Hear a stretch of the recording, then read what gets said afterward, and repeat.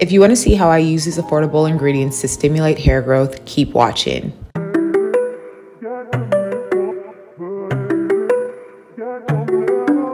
Jumping right into ingredients, the first thing you will need is rosemary. You can use fresh or dried rosemary, they both work. Rosemary is said to stimulate blood circulation to the scalp, which promotes faster hair growth. It's said to prevent balding, promote shine, treat dandruff, prevent premature graying, and the list goes on. Next, you'll need cloves. Buying these mini jars are not cost efficient. I ran out of cloves, so I had to pick some up from the local grocery store. I recommend buying from your local Indian grocery store or Amazon because it's way cheaper. Cloves are rich in antioxidants and nutrients that promote growth and strengthen your hair. Its antifungal and anti-inflammatory agents reduce hair fall, treat dandruff, and promote growth of healthy, thicker hair.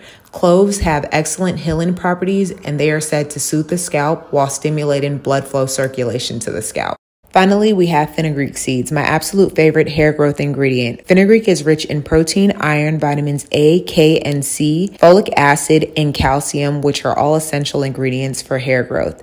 Fenugreek reduces shedding, prevents hair loss, treats scalp inflammation and irritation, slows premature graying, promotes softness and shine, all while strengthening your hair.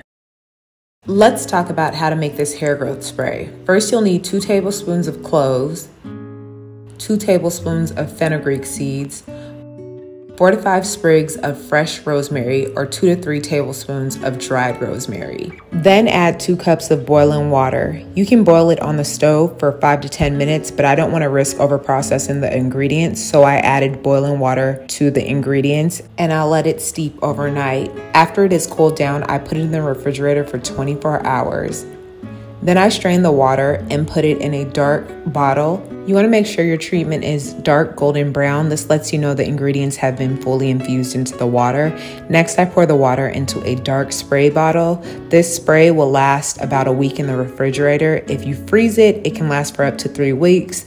I prefer fresh batches, but frozen batches work just as well. Let's talk about how I use the spray. For my scalp, I spray it directly onto my scalp Apply an oil and then massage it into my scalp for at least five minutes.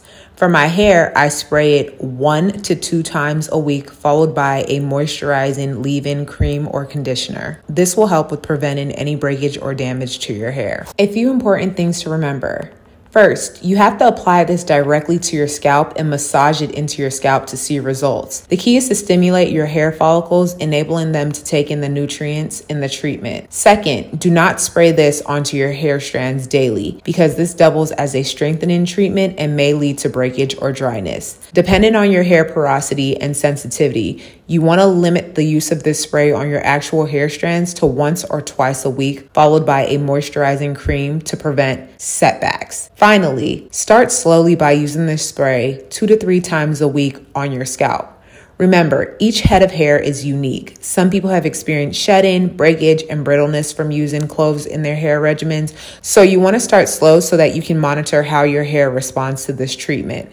That's all I have for this video. I look forward to seeing you in the next one. Deuces.